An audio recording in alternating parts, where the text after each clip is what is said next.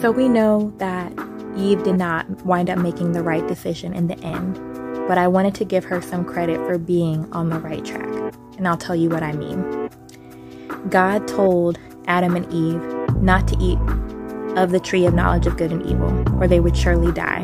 But we see in Eve's comment to the serpent that she says not to touch it, or you will die. And I think she takes it back a step further because she knows that touching the fruit will lead to eating the fruit.